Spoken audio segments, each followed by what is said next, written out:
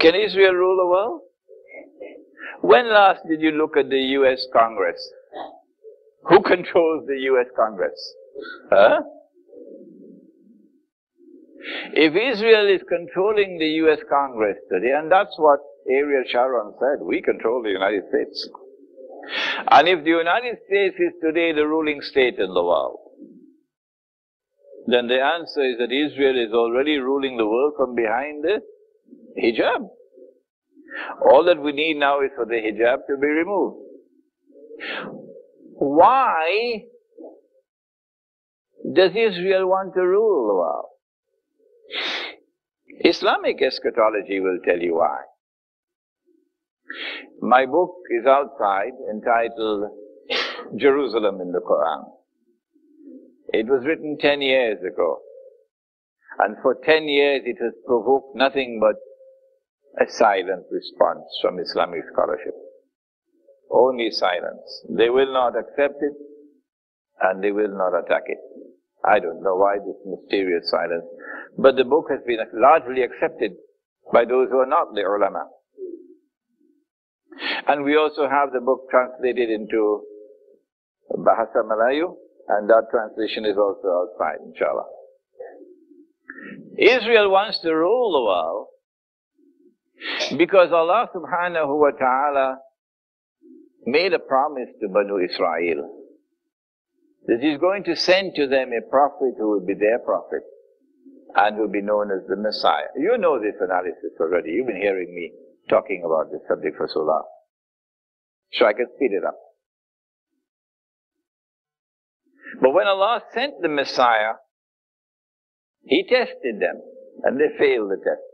Some of them accepted him.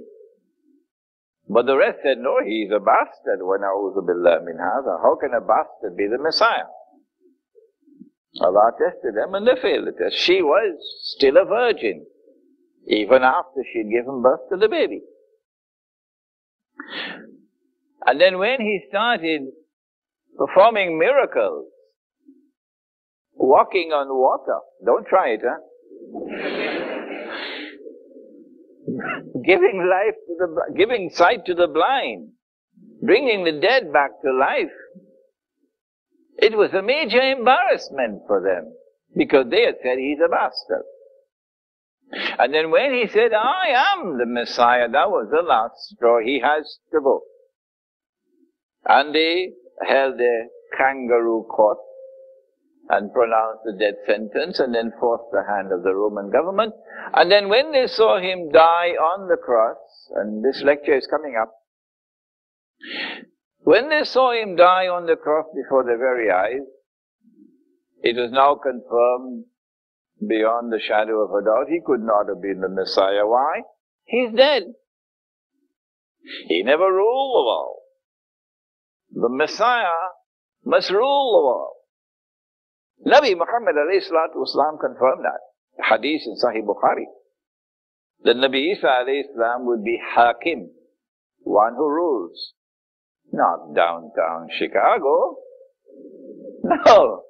He will rule with a rule which cannot be challenged and cannot be rivaled. That is a ruling state.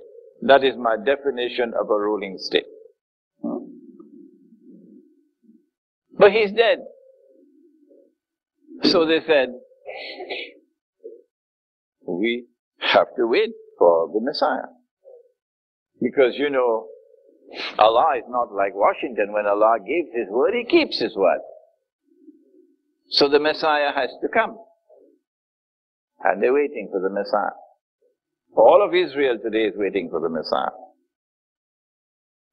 Nabi Muhammad والسلام, informed us, and secular scholarship, they don't, they don't like this part of the lecture at all. They get up from the hall and leave in disgust.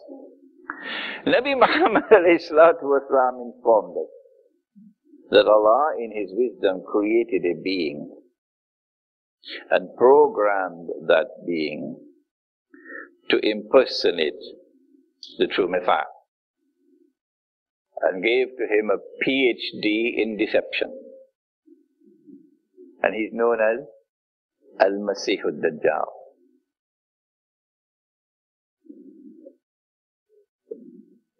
Al-Masih al-Dajjal is now so close to completing his mission of impersonation and of ruling the world from Jerusalem that I have been studying the subject for the longest while.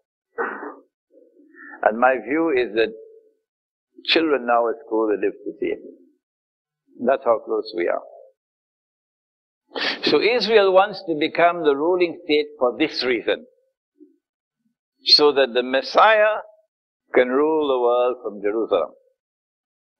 And when he declares himself the Messiah, and they accept him as the Messiah, incidentally, every Jew knows that this paper money is bogus and fraudulent and haram. Every Jew knows that. Every Jew knows that the temple in Jerusalem minted its own gold coins and silver coins. Every Jew knows that. And so Israel cannot fulfill its mission until Israel brings back an international monetary system based on gold and silver.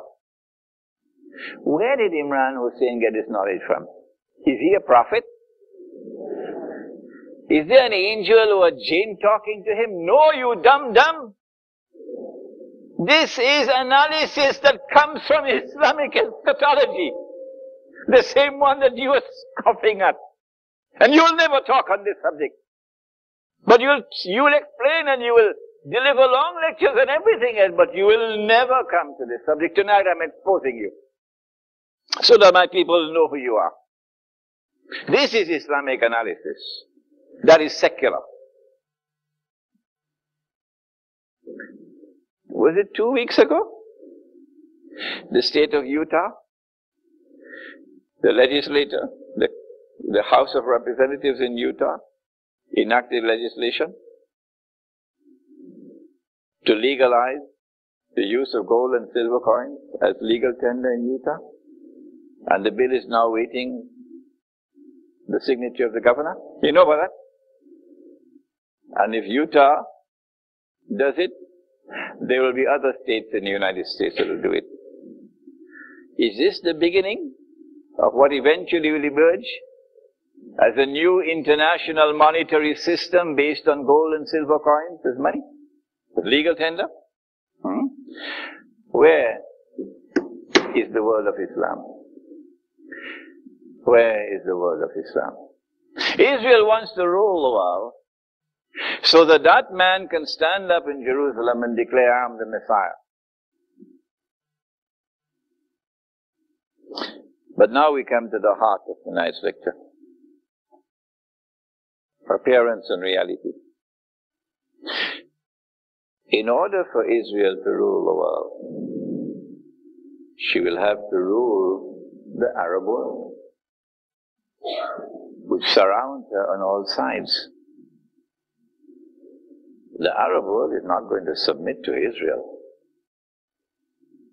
If the Arab world can submit to Israel, then a cow can also jump over the moon. And so, is it possible that the Arab world is going to be attacked and decimated? And large percentage of Arabs are going to be killed? Hmm? Is that possible? In order for it, make, for it to be easier for Israel to rule the world?